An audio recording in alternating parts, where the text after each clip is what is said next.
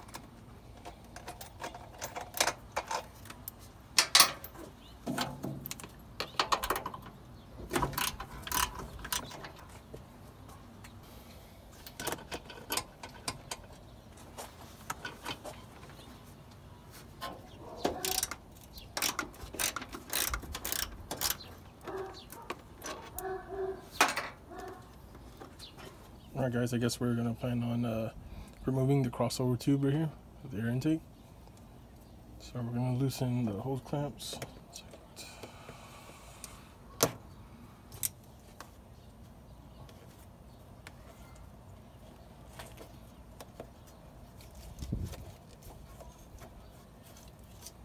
I'm gonna take, loosen up screws here, the bolts here from the breather hose and then remove the MAF sensor and we should be able to remove the crossover tube. Alright guys, sorry I had to charge the battery, but yeah, we're gonna remove the crossover tube. You see right here, we're gonna loosen it. So we're gonna try to replace the lower radiator hose right there. So this part, the clamp here. We're gonna get move these um, bolts here, the breather hose. Should be a 10 millimeter.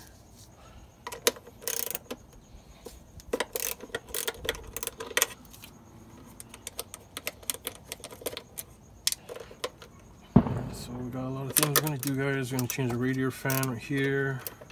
This one, this one's still good and change the valve cover gasket, temperature sensor, and the O-ring.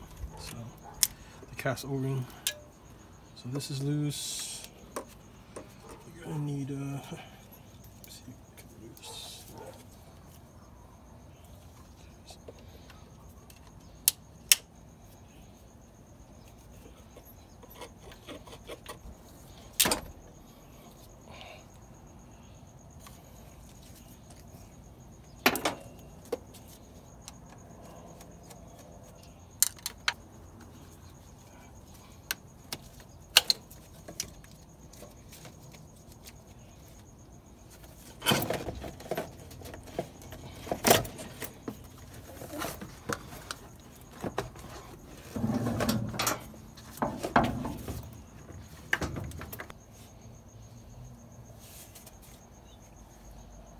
guys, just removed the crossover tube. There it is, the air box. I'll show you. There it is. And here are the um, intake manifold. I cover it. Show you guys cover that when you remove it.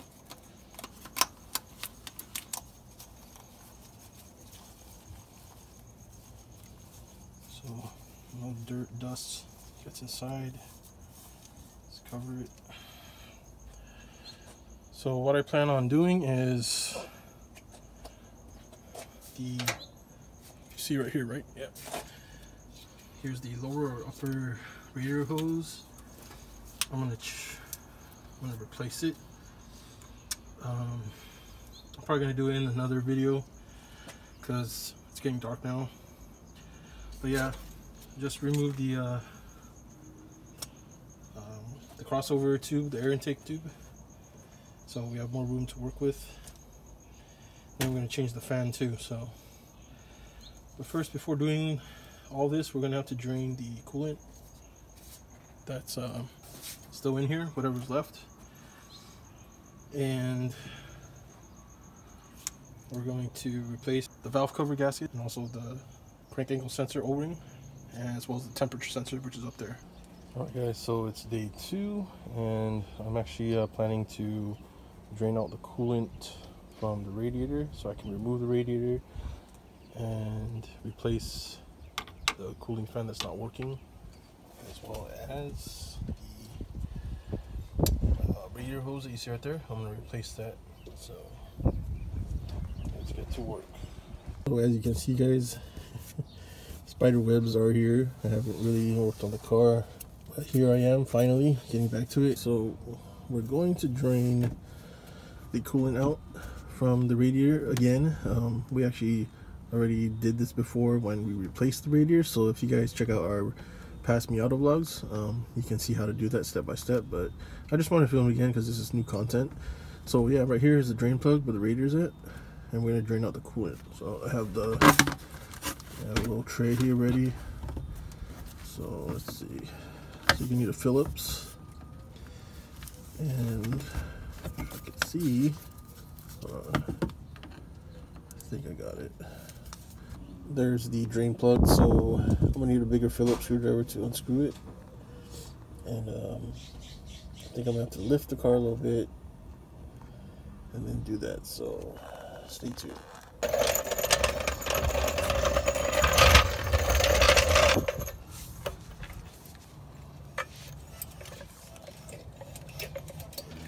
Um, so, trying to drain out the coolant from the radiator so I can change the fan. Eventually change the hoses. So, jacking up the car.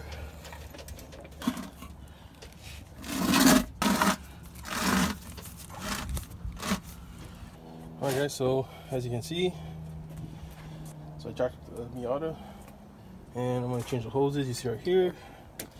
Radiator, I'm going to drain from the bottom. Change this coolant fan.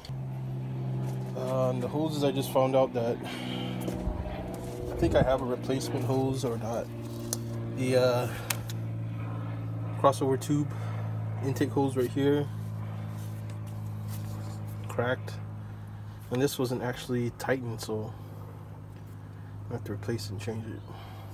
So yeah, here we go. Now you're gonna need a fill.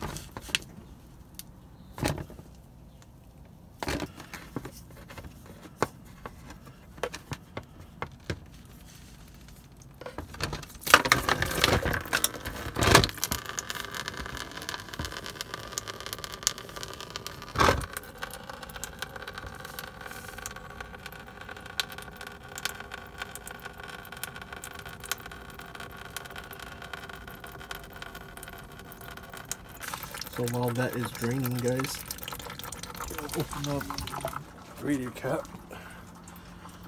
Open up radio cap so I can drain out everything.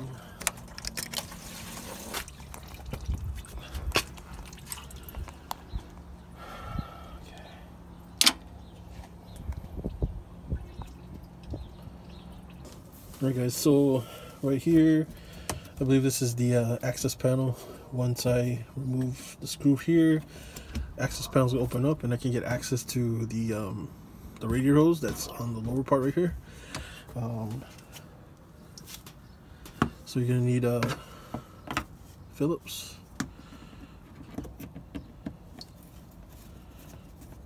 I'm still doing some of the stuff here so that way you guys can see. Uh, make sure. Yeah, so so right here guys, there's the hose. So this access panel gives you the access to getting to the radiator hose that's on the bottom here.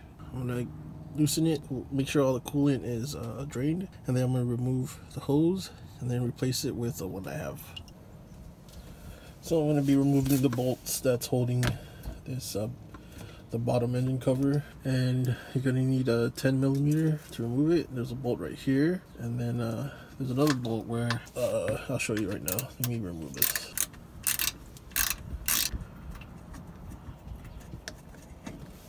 And then there's one right there. So you're gonna need to remove that. I believe it's a 10 too. So that whole cover is gonna come off where the access panel is, exposing the rest of uh, the area where the radiator is at. So right here.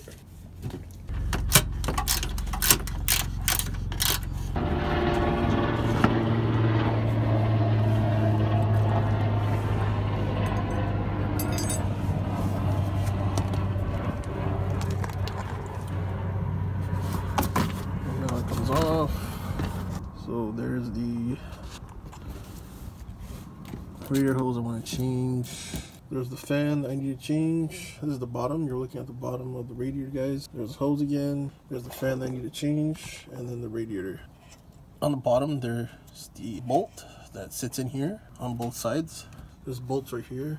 There's two bolts right here you need to remove. Remove those bolts and then uh, remove the top bolts on each side and you'll be able to take the radiator out because in order for me to remove the fan I have to take the radiator yeah so I'm not going to film this part you guys could check more of this on our past Miata vlogs we've already removed this radiator you can check it out um, I'll leave the link on the description below so that way you guys can see how to remove the radiator and change everything so uh, check out the link. But yeah, we're gonna remove the radiator and then we're gonna remove the fan right here and then put the new one on. So let's go. I'm just gonna film a little bit, guys, since it's content and I just want to at least show you. So yeah, you're also still using a 10 millimeter to remove that center bolt right here. It's holding the other uh, bolts and I think it's like the uh, these are AC lines or I forgot what this was. Here. See, so that's removed away from the radiator. See, so you're good. So you probably you think you would just remove the middle bolt that's connected to the radiator. You can leave the rest of it there. Okay. Okay, I'm gonna loosen these bolts here on each side of the radiator.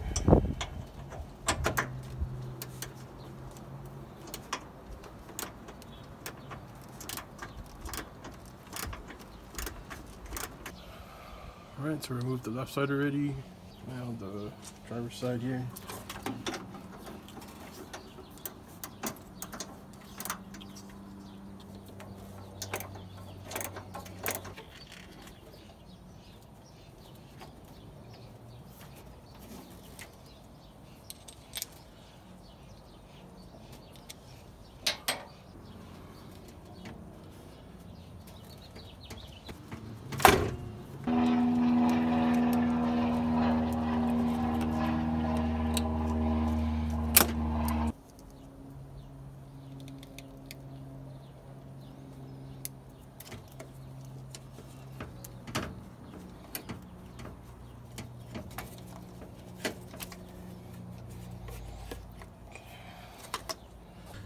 Oops. Hold this down. So next guys, going to unclamp the radiator hose here on the bottom.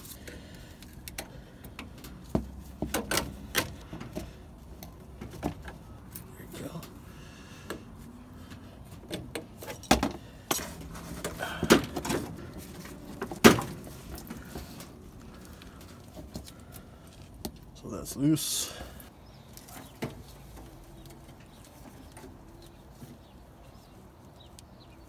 Okay guys, everything should, uh, so the radiator should be able to be removed.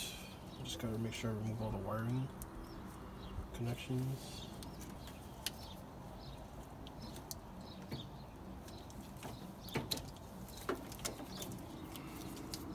I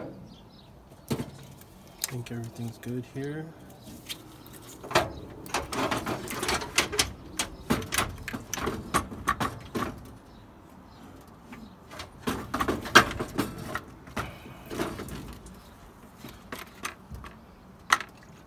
Have it. Just remove the radiator. So what's up guys? So here's our current situation. So we just uh, removed out the radiator. Talking to Ryan over at Sanctum Garage in Florida.